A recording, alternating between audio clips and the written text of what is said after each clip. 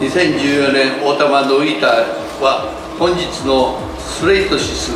これはあの、えー、タイのデザイナーでございますけれどもブランドのショー皮切りに22日までベテランから中堅新進系の若者若手まで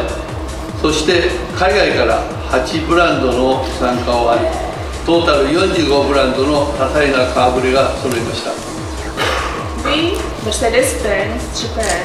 are also proud to be supporting the young Japanese designer with our Mercedes-Benz Presents Designer Program.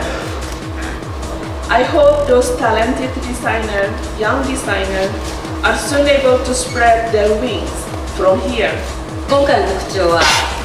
SFW 渋谷ファッションウィークというのを一緒にやっていただきます ここ光栄はもとより、えー、東急西武両デパートさらに109パルコそして丸いこの秋には秋までに、えー、日本の免税店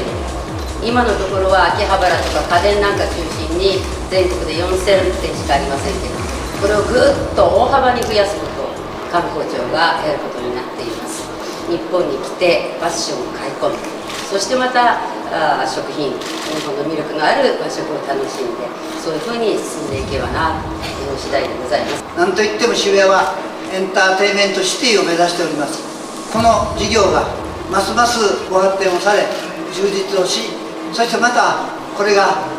ファッションの発展につながる。何も私たちは日本人に限定することはありません。世界の方々で分かってて東京から発信したいということにもですね門戸を開いておりますし。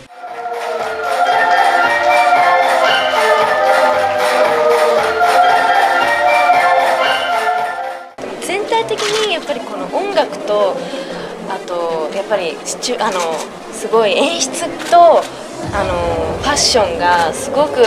なんだろうやっぱり芝居をしてる目線から見ると本当全部がもうパーフェクトでちょっとポイントがあってこの